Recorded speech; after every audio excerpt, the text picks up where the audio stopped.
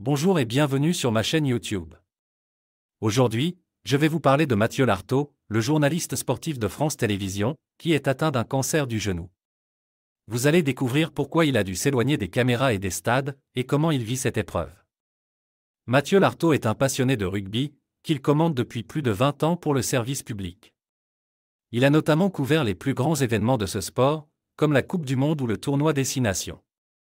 Mais depuis quelques semaines, il a dû mettre sa carrière entre parenthèses à cause d'une grave maladie. Le 18 avril dernier, il a annoncé sur son compte Instagram qu'il souffrait d'une récidive d'un cancer du genou, qu'il avait déjà contracté il y a 25 ans. Il a écrit, il y avait un à 5% de chance que ça arrive et c'est arrivé. Ça va secouer très fort mais je suis prêt et très bien entouré. Je ne serai jamais très loin des terrains et des équipes de France TV Sport. Et comme les Bleus, mon seul objectif en 2023 est la victoire. Depuis cette annonce choc, Mathieu Lartaud a commencé un traitement qui l'oblige à rester chez lui et à se reposer.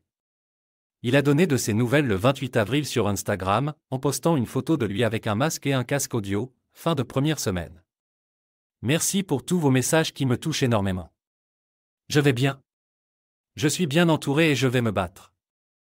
Malgré sa détermination et son optimisme, Mathieu Lartaud ne cache pas sa tristesse de ne pas pouvoir assister au match de rugby qu'il aime tant. Le 29 avril, il a exprimé sa nostalgie sur Instagram en partageant une photo du stade irlandais où se jouait la demi-finale de la Champion Cup entre Toulouse et Leinster. Je n'avais jamais manqué un match en 20 ans de carrière.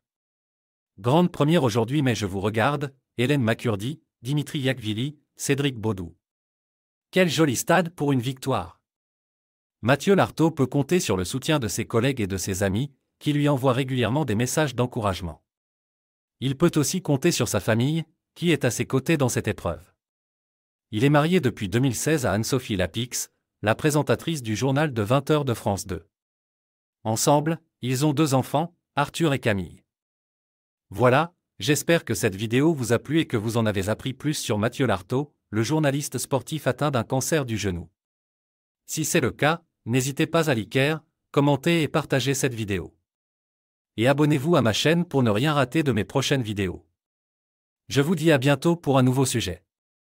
Ciao